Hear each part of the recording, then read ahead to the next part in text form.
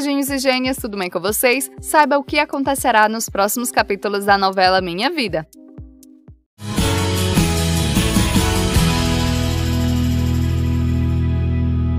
No capítulo 87, sábado 26 de janeiro, Efisum aparece na faculdade e diz para Barra que agora é uma estudante convidada. Se tudo correr bem até o final do semestre, no próximo ano ela será oficialmente uma aluna.